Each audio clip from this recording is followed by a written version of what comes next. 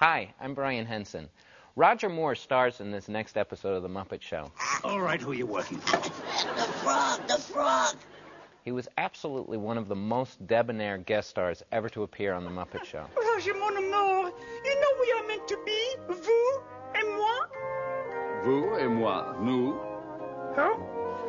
We.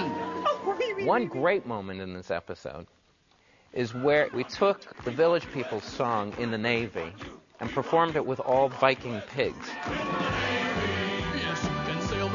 The piece itself is little over two minutes long, and it actually took us a day to shoot it, which is not very good when you're trying to shoot an entire half hour episode in three days.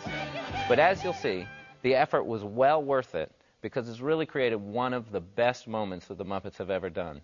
Here's the Muppet Show with Roger Moore.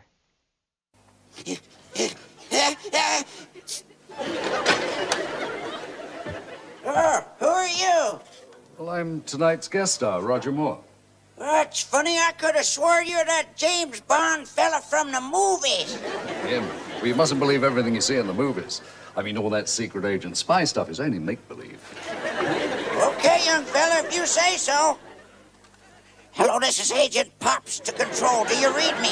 Go ahead, Agent Pops. Yeah, 007 just past Check Able headed your way. Ah, All right, who are you working for? the frog, the frog.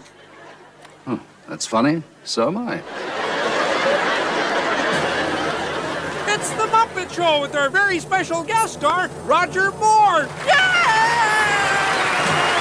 Thank you, thank you, thank you, and welcome again to the Show. And it's going to be a wonderful show tonight because our special guest is James Bond, secret agent 007, known secretly to his millions of fans as movie star Roger Moore.